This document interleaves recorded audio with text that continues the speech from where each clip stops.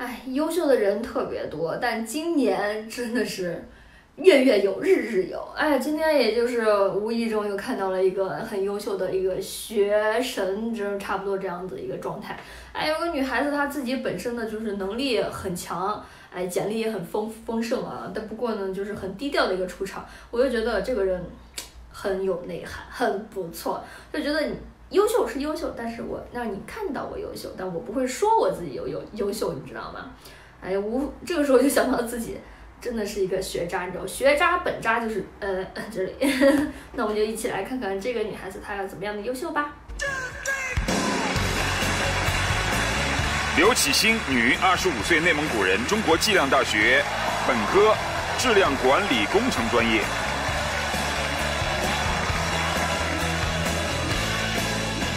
在座的十二位企业家好，涂磊老师你好，我叫刘启新，今年二十五岁。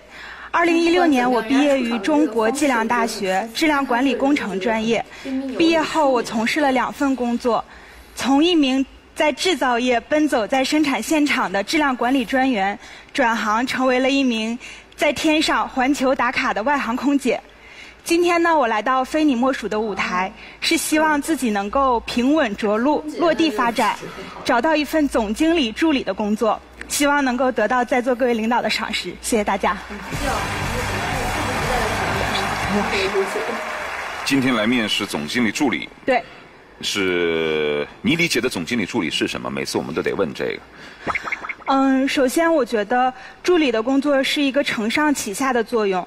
对上的话，首先我要辅助我的领导，然后去跟进他部署的工作任务，然后可能会协助他做一些文案方面的工作。所以，其实你理解的是助手，也就是类似于秘书。嗯，我希望我工作的岗位能在呃协调助理的同时，也能去对下去协调一些部门的工作。你希望是一回事儿，你能不能做是另外一回事儿，嗯，对吧？这说话说的有道理吧？对，对吧？嗯，来，我们来看看这个刘启新，其实有很多在学校获得过的荣誉，来，你跟大家说一下。我在大学期间，就是在学好专业知识的前提下，我参加了比较丰富的社团活动。嗯。嗯，首先我在学生会的话是文艺部部长，然后除此之外我还做了一个志愿者，甚至到现在我也是一个支教团的一份子。嗯。嗯。说完了，你这上面好多荣誉你自己没说嘛？获得过很多次奖学金，这就不用说了啊！连续两年获得优秀学生干部称号，还曾经做过导演，有一项国家实用型专利。嗯，有一项。参加浙江省电子商务大赛二等奖。啊，对。在方太集团、松下家用电器都实习和工作过。嗯。你为什么非要我来跟你说呢？就是他读出来就觉得还是想。高明啊！让我来为你背书啊！谢谢涂磊老师帮我夸了一下自己。但是我不把这个念读出来，我觉得对于他来说是挺亏的啊，因为他这些，他的这些这个荣誉和曾经的工作经历，其实是很实在的东西，不是很虚的东西。嗯？谢谢涂磊老师。这些东西当中，你有什么要展开说的吗？我有这样几页 PPT，可以展示一下。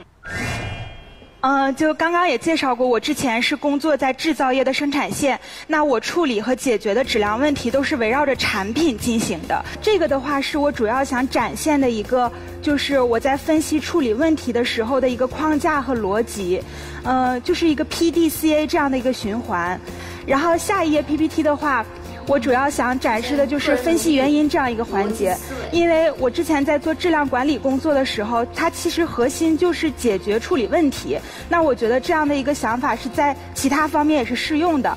就像呃，厉总您在呃之前的一个对话这样一个访谈节目当中也说到，说松鼠 AI 这样的一个智能教育平台，它其实是因材施教。然后能够先确定孩子们不会的知识点是什么，然后来再针对这些知识点对他们进行一个集中的加强教。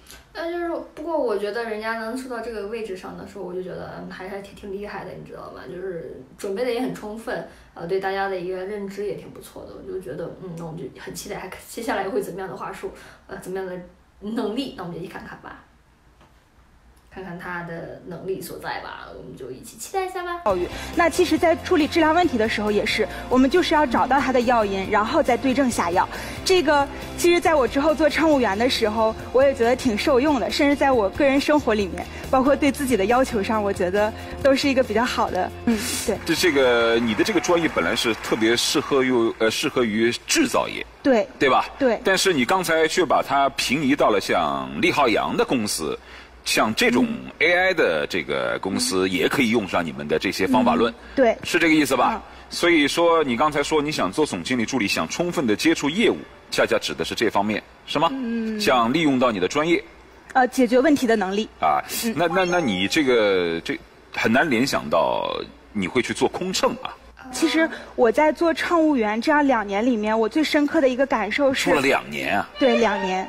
卡塔尔航空是是中东的一家航空公司，而且在世界排名是第一，连续五年被评为全球第一的航空公司。要求非常严，非常严格。你为什么想去做，想着去做空乘呢？我觉得这份工作它在一定程度上拓展了我的一个人生维度。我累计去到了七十四个国家和一百零八个城市，我个人的人生体验是因此更加丰富的。而且以前是更多接触的是产品，那现在更多接触的是人。那怎么又不做了？那两年做了。嗯，它对我身体的损耗有点太大了。啊？就是。嗯，我跟涂磊老师解释一下，就是卡塔尔航空我们的乘务员呢，我们是有一两百多个国际目的地是随机分配的，也就是说你今天可能飞了亚洲，明天就是欧洲，然后接下来就是澳洲或者美国，也就是说你整个人的作息和时差完全是混乱的。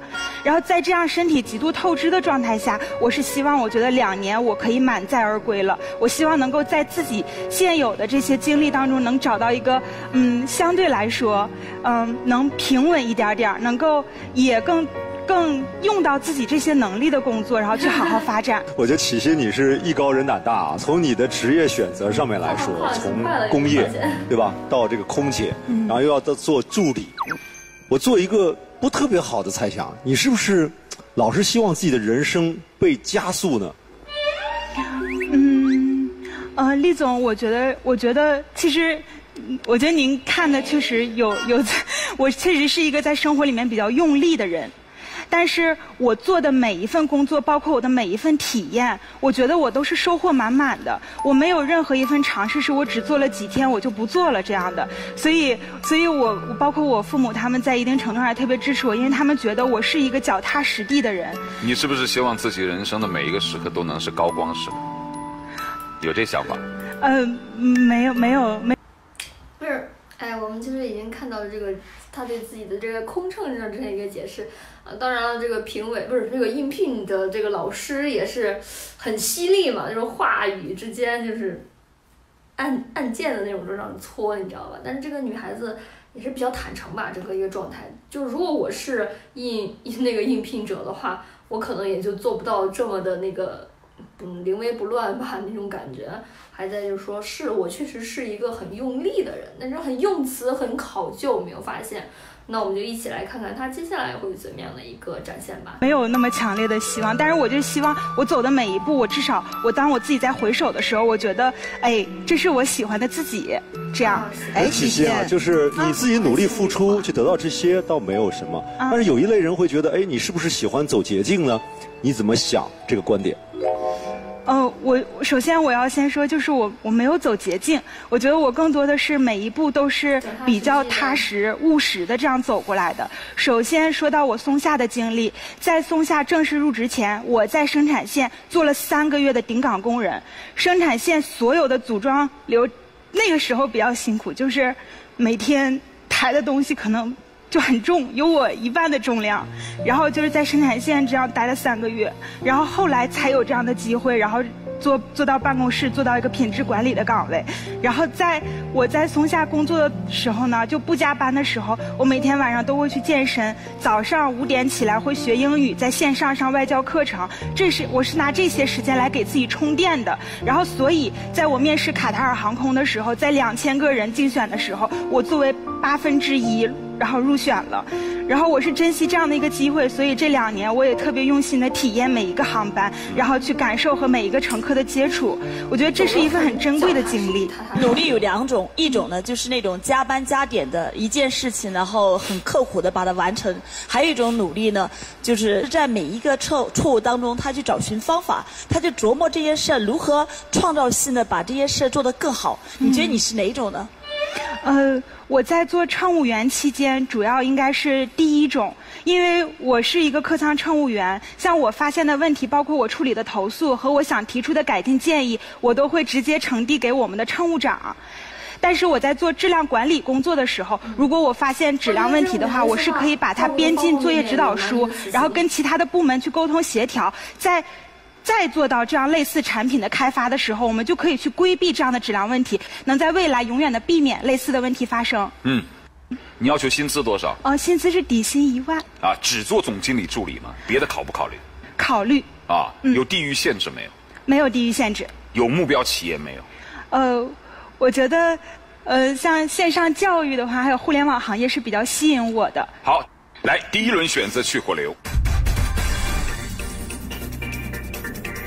十二盏灯全留。可见这个十二盏灯全留，这个也体现了这个女孩子的这个优秀，也有她话术的这种严丝合缝。就是这个，像这刚刚那个女的问的两个问题，这个女孩子就真的是，我不，我两个都不选，而是告诉你，我这两个我都可以做到。你想要什么样子，我都可以给予你什么样的一个状态状态。包括去根据你想要我去，或者说是我要应聘的这个职位，他需要我去怎么做，我都可以做到，我的能力范围之内。我就觉得，嗯，这个女孩子不愧是一个很优秀的一个学神，你知道吗？嗯，当然她不是说是在学习上有多么的优秀，但是她在这个。嗯，努力这个方面和他自己的这种充电这个方面，我就觉得值得我们去学习。